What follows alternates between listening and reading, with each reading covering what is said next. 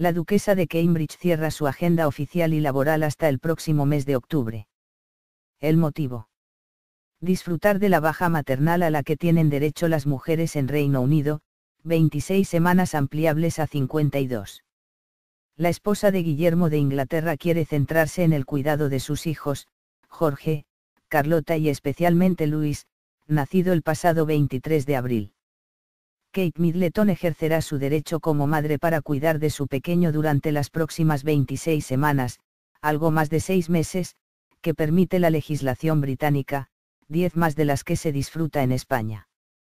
Durante ese periodo, la duquesa de Cambridge no está obligada a acudir a ningún acto oficial de la corona aunque parece que se dejará ver, al menos, en dos ocasiones, en el bautizo del pequeño, para el que todavía no hay fecha ni se han elegido padrinos, y la ceremonia de regimientos del ejército británico que se celebrará en junio en honor de la reina Isabel II, ambos actos con alta carga familiar.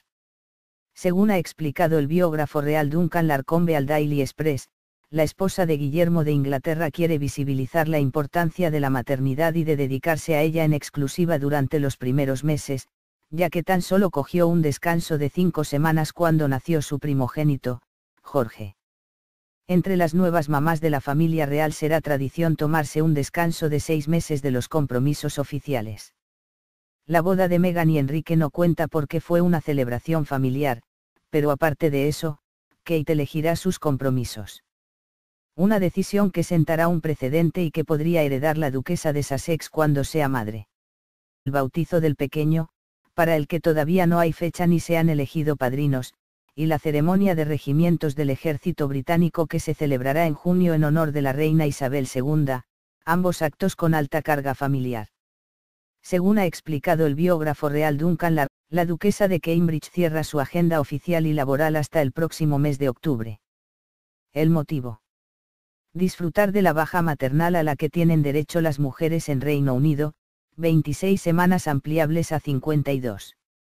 La esposa de Guillermo de Combe al Daily Express, la esposa de Guillermo de Inglaterra quiere visibilizar la importancia de la maternidad y de dedicarse a ella en exclusiva durante los primeros meses, ya que tan solo cogió un descanso de cinco semanas cuando nació su primogénito, Jorge. Entre las nuevas que permite la legislación británica, diez más de las que se disfruta en España.